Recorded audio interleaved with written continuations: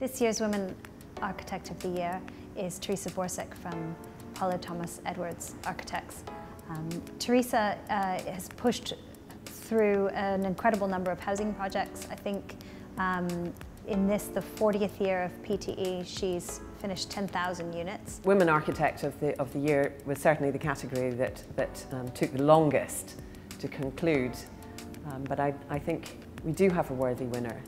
She's done some really great work and lots of it in the last year. I'm slightly amazed at the output. The thing that gives me most pleasure is to see how much good work is going on. There are uh, winners who would represent um, a sector uh, or an achievement in terms of the number of women that they've brought into a practice, uh, like Teresa Borsuk. Under her leadership in the practice, the, um, the staff gender split is 50-50 and that's pretty remarkable in any architectural practice anywhere.